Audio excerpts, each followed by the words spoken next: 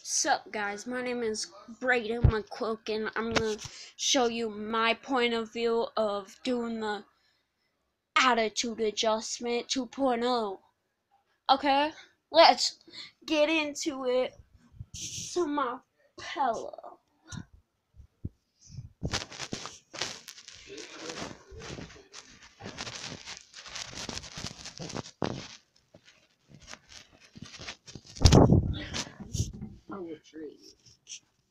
In motion.